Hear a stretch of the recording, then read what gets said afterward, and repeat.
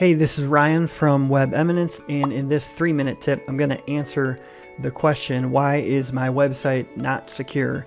So, a lot of clients have contacted me recently and they're concerned because people are telling them their website is not secure or they're seeing browser warnings like this one here that says their website is not secure. So, it's unlikely that anything happened with your website to make it not secure.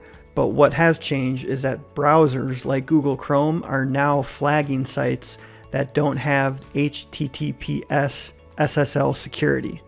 And that type of security would um, encrypt all of the transfer of information from your website and to your website server. Um, so if you look at this warning, it says you should not enter any sensitive information on this site, for example, passwords or credit cards, because it could be stolen by attackers. So that means it's just out there publicly and it's not encrypted. For a lot of sites, this doesn't matter a whole lot because nothing's really being transmitted except the public info like this text and images, which are already displayed publicly anyway. But it is good practice now just to have HTTPS or SSL security and that will make your website secure. Um, one thing that would be transmitted on a website like this and on most websites is just a contact us form. So if I was to fill this out as a visitor and input, you know, sensitive information or any information about myself here and click submit, it's going to be sent to this website host and it won't be encrypted because the site is not secure. And this obviously becomes more important when credit card information or other sensitive information is being sent.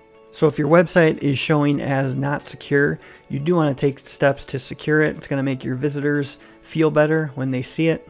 And what they will see is a lock icon like this rather than a not secure message like this.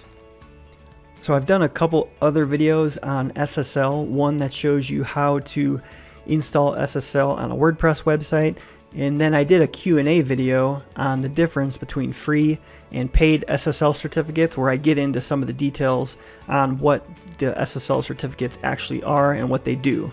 So you can contact your host to get an SSL certificate and make sure to check out my videos for more information and uh, I'll link to the Q&A video here. You can go check that out now.